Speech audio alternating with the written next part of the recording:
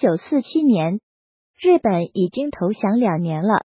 虽然战争的阴影依然笼罩在中国这片古老的大地上，但是当初那种随时会亡国灭种的威胁已经不复存在。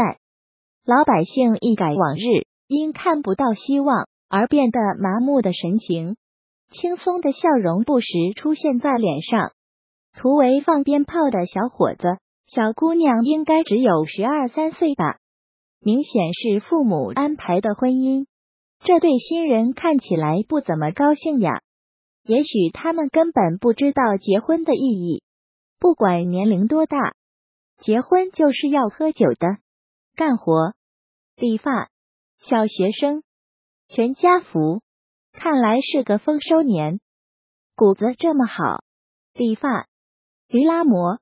为什么没有把驴的眼睛蒙上？小学堂、撞钟。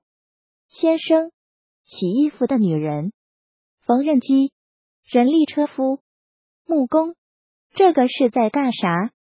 药铺、杂货铺、丰收。小茶馆、猪肉铺、卖香烛的老奶奶、卖小玩意的小贩和孩子们。小姑娘很可爱，刻碑。